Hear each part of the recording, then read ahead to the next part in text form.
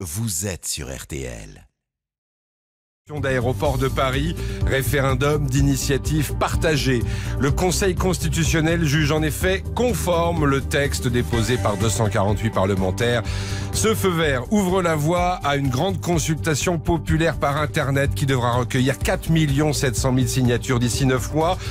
Et les assemblées auront six mois ensuite pour examiner ce texte qui ancre ADP dans le service public. Sinon, le président sera tenu d'organiser un référendum. On en parle avec l'un des parlementaires à la manœuvre, le député Les Républicains Gilles Carrez, invité à 18h20. Et on y reviendra évidemment en refaisant le monde tout à l'heure après 19h15. RTL Soir première édition, c'est avec vous Isabelle Choquet, bonsoir. Bonsoir Vincent, bonsoir à tous. Et les autres titres Le pape à l'offensive contre la pédophilie dans l'église. Il rend la dénonciation obligatoire Seul le secret du confessionnal est préservé. Explication dans un instant. Les fonctionnaires dans la rue, plus de 30 000 à Paris selon la CGT. Ils dénoncent notamment la suppression annoncée de 120 000 postes. L'inquiétude des Restos du Cœur. Le fonds européen qui subventionne les associations caritatives pourrait être réduit de moitié. À suivre également le procès France Télécom. La parole au parti civil très choqué par la froideur de l'ancien patron Didier Lombard. Et puis Apple accusé de tricherie. La marque à la pomme nous ment sur l'autonomie des batteries d'iPhone. La bourse de Paris, elle termine ce soir en nette baisse d'1,93% à 5313 points. Euh, les courses à Maison Lafitte, il fallait jouer le 4, le 10, le 6, le 5 et le 14. À la fin du journal, la question qui vous permet de comprendre l'actualité. Nous sommes à la veille du jour du dépassement. L'Union européenne aura épuisé demain ses ressources naturelles pour l'année. À 18h25, les coulisses de l'actualité, direction Colmar, devenue la destination branchée des touristes chinois. Et cela grâce à une émission de chinoise qui compte quand même quelques 2 milliards de téléspectateurs. À 18h30, Alain Duhamel nous dira ce qu'il pense de cette journée de grève dans la fonction publique. Et à 18h35, sur les traces de la muse et maîtresse de Picasso, Brigitte Benkemoun nous propose un véritable jeu de piste chez les surréalistes en publiant Je suis le carnet de Doramar. Et elle sera notre invitée. La météo maintenant, c'est avec vous Patricia Charbonnier. Bonsoir. Bonsoir. Alors Demain, c'est une petite amélioration entre deux perturbations. Moins d'averses sur la moitié est du pays et le retour des éclaircies et même un ciel qui restera lumineux toute la journée près de la Méditerranée. Alors que dans l'ouest, c'est bien nouvelle dégradation qui va arriver par la côte atlantique avec déjà de la pluie demain matin entre la Bretagne et la Nouvelle-Aquitaine. Des pluies dans l'après-midi sur le quart nord-ouest et des averses localement orageuses dans la partie sud-ouest. Le tout dans des températures encore fraîches. 3 à 13 degrés pour demain matin et 14 à 24 dans l'après-midi, 14 à Brest, 17 à Nancy et Paris, 23 à Grenoble Marseille et 24 à Toulouse. Merci Patricia, à tout à l'heure. RTL Soir. Le pape fait la loi, en tout cas celle du Vatican, et face à la pédophilie, il passe à l'offensive. François a publié aujourd'hui une lettre apostolique qui modifie la législation interne de l'Église, le, droit canon. Les crimes d'abus sexuels offensent notre Seigneur, écrit-il, et ils trahissent la confiance des fidèles. Il faut donc les dénoncer. Bonsoir Marie Guerrier. Bonsoir. C'est la principale disposition de cette lettre. Désormais, tous les religieux auront l'obligation de signaler le moindre soupçon d'agression sexuelle. Oui, signaler aux autorités de l'Église les agressions sexuelles sur mineurs ou personnes vulnérables mais aussi tout acte sexuel subi sous la contrainte par abus d'autorité. Ça veut dire que les violences contre les religieuses, les séminaristes doivent aussi être dénoncées. Signaler également la détention de photos et vidéos pornographiques et puis dénoncer euh, tous ceux qui couvriraient ces faits. Alors, il faudra qu'il y ait ensuite, après un signalement, une enquête et ne pas traîner. Arriver à des conclusions dans un délai de 90 jours. En publiant ce motu proprio, le pape ne s'en remet plus euh, seulement à la conscience des prêtres et des évêques. Cela devient une obligation de signaler. Il les place devant leurs responsabilités. Alors, à une exception, le secret de la confession est lui préservé. Dans son texte législatif, le pape demande que chaque diocèse se dote d'ici à un an d'un dispositif facile d'accès au public pour adresser un signalement. Alors la forme n'est pas totalement définie. Il faudra aussi prévoir un accueil et un accompagnement des victimes et de leurs familles en, en leur assurant la confidentialité. En France, par exemple, les diocèses ont déjà mis en place des cellules d'écoute et une adresse mail qui permet de recevoir les signalements. Marie Guerrier, on y reviendra également tout à l'heure. Euh, dans On refait le monde. L'union sacrée aujourd'hui contre la réforme de la fonction publique. Tous les syndicats étaient dans la rue aujourd'hui. Oui, tous les syndicats et tous les métiers, les enseignants, les hospitaliers, les douaniers, ils dénoncent ce projet de loi qui prévoit notamment la suppression de 120 000 postes d'ici à 2022. Il est aussi question d'une rémunération au mérite et d'un recours plus fréquent aux contractuels. Objectif, bien sûr, faire des économies. Le secrétaire d'État Olivier Dussopt a rappelé ce matin que le déficit public était de 70 milliards d'euros. Des propos qui font bondir Yves Verrier, le secrétaire général de Force ouvrière. Le secrétaire d'État en charge de l'action publique et des comptes publics, malheureusement, il n'a retenu que les comptes publics dans sa mission. Je trouve euh, lamentable d'assimiler la fonction publique aux 70 euh, milliards de déficit public. Je lui rappelle que son collègue M. Darmanin évalue, lui, à 140 milliards euh, de dépenses publiques euh, consacrées aux aides publiques aux entreprises chaque année. On ne doit pas réduire le service public, la fonction publique à une dépense. Les fonctionnaires ont le sentiment, à force de se promener avec une pancarte Je suis une dépense. Je trouve lamentable que le ministre ne retienne de sa mission que les comptes publics et qu'il assimile le déficit de l'État à la fonction publique. Yves Verrier, secrétaire général de Force ouvrière au micro RTL d'Anaïs Bouissou. C'est donc un obstacle de taille sur la route de la privatisation d'aéroports de Paris puisque le Conseil constitutionnel donne son feu vert à un référendum d'initiative partagée. Et ce serait le premier du genre. Les sages estiment en effet que toutes les conditions sont réunies.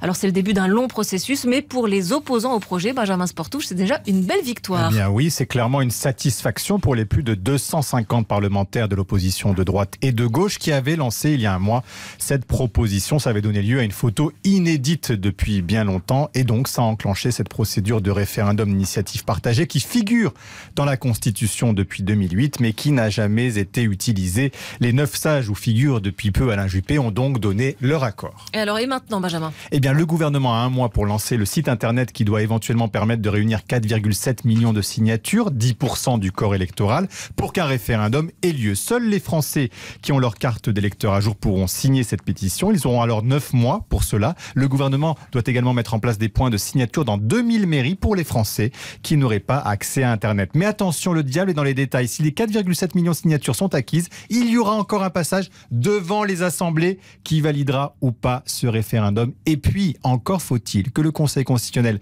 n'annule pas tout bonnement la privatisation d'ADP. Il se prononce en effet la semaine prochaine sur la loi qui le prévoit. Plus besoin alors de référendum qui tomberait de fait à l'eau. Benjamin Sportouche, on en parlera en tout cas dans quelques minutes avec l'un de ses parlementaires à la manœuvre, le républicain Gilles Carrez. Une date à noter pour tous les élèves de terminale, mercredi 19h. Ils pourront alors prendre connaissance des premières réponses à leurs vœux sur Parcoursup, acceptés, refusés ou liste d'attente. C'est la suite du procès des suicides à France Télécom. La parole aux parties civiles. Hier, elles ont entendu l'ancien patron Didier Lombard nier toute responsabilité dans les dizaines de suicides qui ont accompagné le plan de restructuration à la fin des années 2000. C'est comme ça, je n'y peux rien, c'est ce qu'il a dit. Alice Moreno, euh, vous êtes au Palais de justice de Paris pour RTL. Ces propos ont particulièrement choqué Patrick Ackerman du syndicat Sud. Oui, sans cesse, Patrick Ackerman prend à partie les dirigeants de France Télécom, en particulier l'ex-PDG Didier Lombard, assis juste là, à un mètre de lui. Les regrets, c'est important. Pensez-y, lance-t-il d'une voix forte. Puis il s'adresse au tribunal. Quand Didier Lombard dit qu'on lui vole le succès de la transformation de l'entreprise en 2009, en plein cœur de la crise des suicides, c'est un peu violent. Il ironise. Monsieur Paris qui s'est jeté sous un train à l'été 2009, c'est donc juste avant la fête. Il n'avait rien compris. Pour lui, la privatisation de l'entreprise est une trahison. Il effectue même une comparaison avec la série des années 70, Les Envahisseurs. Vous, messieurs les dirigeants, vous êtes des aliens et nous, des sacs de viande. Aujourd'hui encore, il considère Orange comme une multinationale qui ne pense qu'aux bénéfices, bien loin de l'entreprise de service public qu'il a connue il y a des décennies. Alice Moreno au procès France Télécom pour RTL. Un homme en garde à vue dans le Gard dans l'enquête sur le viol d'une joggeuse, c'était le 22 avril dernier. Des analyses ADN sont en cours. Trois autres personnes ont été entendues mais relâchées. Allez, on marque une pause et puis dans un instant, avant de parler euh, des batteries de nos smartphones, euh, on évoquera cette sérieuse inquiétude du côté des restos du cœur face au désengagement de l'Europe. À tout de suite. RTL Soir 18h09. RTL Soir. RTL Soir 18h10, Vincent Parisot et pour la suite du journal, Isabelle Choquet. Avec des restos du cœur qui euh, sonnent l'alarme, ils appellent à un plan européen de lutte contre la pauvreté. Actuellement, le Fonds européen d'assistance aux démunis permet de financer l'aide alimentaire, mais le président des restos, Patrice Blanc, s'inquiète pour son avenir. Il est question de l'intégrer à un fonds social plus large, en clair, de diviser les moyens par deux. Plus de 35 millions d'Européens bénéficient de ce fonds actuellement, ce qui aurait euh, une conséquence catastrophique, hein, puisque c'est tout simplement grâce à cet argent que nous pouvons acheter de la nourriture fournie aux personnes qu'on accueille. On a beaucoup de familles monoparentales, des retraités en particulier en milieu rural, et des jeunes entre 18 et 25 ans qui aujourd'hui euh, frappe à la porte des restos du cœur. Le président des Restos du Cœur, rejoint pour RTL par Mélina Fachin. Je me tourne vers vous, Martial You, chef du service Mhm. économie d'RTL. Est-ce qu'il a des raisons de s'inquiéter, Patrice Blanc? Bah, pour l'instant, on n'en est qu'au stade des inquiétudes à, à avoir, mais elles sont justifiées puisqu'en fait, on entame des discussions entre les différents pays d'Europe sur le budget prévisionnel des années 2021 à 2027. Et c'est là qu'on décide, eh bien, si on reconduit le budget de la politique euh, agricole commune, par exemple, euh, au même niveau, et, et comment le budget sera redistribué pays par pays. Et c'est dans ce cadre-là que le programme européen d'aide aux plus démunis pourrait être raboté. Entre 2014 et 2020, l'Europe a accordé 3,8 milliards de subventions aux associations comme le Resto du Cœur ou, la Banque Alimentaire pour les aider à acheter de la nourriture et faire fonctionner les structures. Et bien, dans les projections actuelles, mais rien n'est encore fait, hein, j'insiste bien, l'enveloppe pourrait tomber sous les 3 milliards. Certains redoutent même un budget divisé par deux. Et pour toutes ces associations, ce serait une perte lourde parce que cette subvention de l'Europe peut représenter autour de 15% du budget annuel. Merci. Les explications de Martial You. En cette journée de l'Europe, les 28 sont réunis en sommet en Roumanie. Ouais, sauf qu'ils ne sont que 27. Le Royaume-Uni fait l'école buissonnière pour cause de Brexit. Emmanuel Macron en profite pour faire campagne pour l'Europe, pour l'écologie. Et puis, le chef de l'État répond aussi à la polémique grandissante sur la vente d'armes françaises à l'Arabie Saoudite. Des armes destinées à la guerre au Yémen. Un cargo doit partir prochainement du Havre, mais le chef de l'État assume. L'Arabie Saoudite et les Émirats Arabes Unis sont des alliés de la France. Et ce sont des alliés dans la lutte contre le terrorisme. Et donc nous l'assumons totalement. Aux Émirats Arabes Unis, nous avons euh, une des plus grandes bases françaises à l'étranger. Et donc en effet, il y a des relations qui se font sur le plan militaire. Il y a un comité qui gère ces exports, qui se fait sous l'autorité du Premier ministre, et dans lequel nous demandons la garantie que ces armes ne puissent pas être utilisées contre des civils. Emmanuel Macron au micro RTL de Béatrice Adjage. Allez, à la Réunion, Oui. un surfeur a été tué par un requin au large de Saint-Leu. Euh, Le squale lui a arraché une jambe. C'est la 24e attaque depuis 2011 et la 11e mortelle. Je disais qu'on allait parler d'un sujet qui nous concerne tous ou presque, à savoir l'autonomie de nos smartphones. Ouais, parfois, on ne les quitte pas du matin au soir. Alors évidemment, l'autonomie de la batterie est devenue un critère extrêmement important quand on achète. Une association britannique de défense des consommateurs s'est penchée sur le sujet. Euh, Marie Billon, vous êtes la correspondante d'RTL à Londres. Apparemment, Apple a tendance à largement surestimer l'autonomie de ses iPhones. Et oui, il y aurait un vrai fossé entre ce qui est marqué sur la boîte et la réalité. L'association de consommateurs Which a testé notamment 9 modèles d'iPhone et pour tous, l'autonomie des batteries aurait été surestimée entre 18 et 51% Le pire serait l'iPhone XR. Apple promet une longévité de 25 heures, mais elle ne serait que de 16 heures et 32 minutes.